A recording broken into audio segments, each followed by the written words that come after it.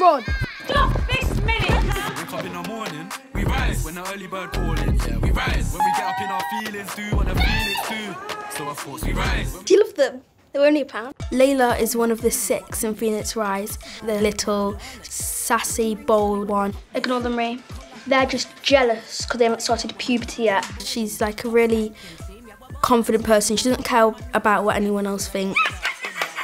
Leila also loves to perform. She's got scenes where she's singing all the time. It's all right, miss. I want to do Acapulco. When you find a love once in a lifetime. She's got a best friend called Ree, Rihanna, and they're really, really close. They've got a really tight friendship. Could you pick the worst time to start your period? Her sister B was in like involved in some sort of gang with her friends and then she got on the wrong side with them. Best stay away, yeah?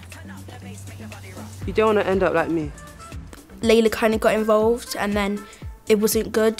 The only reason why Leila was put in the referral unit in the first place was to keep her away from her sister.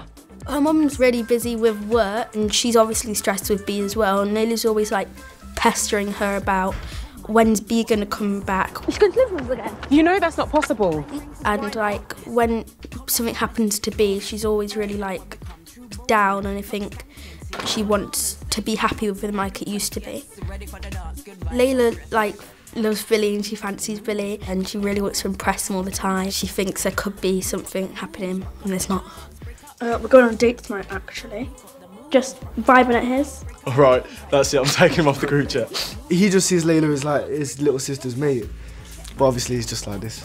He's just a little kid, man.